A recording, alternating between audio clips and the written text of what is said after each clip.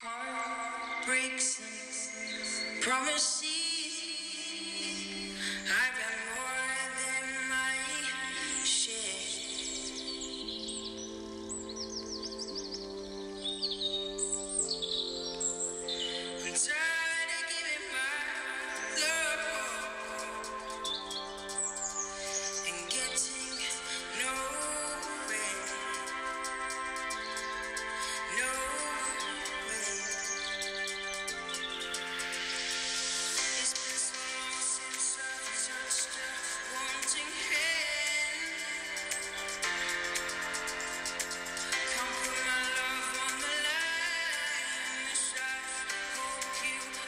because education is a core and essential service, and our camp schools are a part of that. They are attacking the very heart of what people understand government should, uh, should deliver.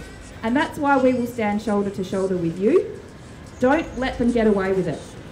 Keep turning up, keep making it a priority, and keep talking to your friends and colleagues. You question them. Where is the debt repair?